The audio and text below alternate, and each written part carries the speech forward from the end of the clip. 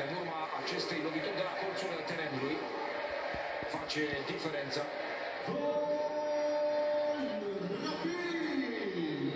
Dugazic se înalță de lângă slovacul Branislav Linia, îl domină pe acesta în săritură, eroare mare însă și a lui Roland Nițui, o ieșire neinspirată a portarului lui Șepși, o ieșire pedepsită de Marco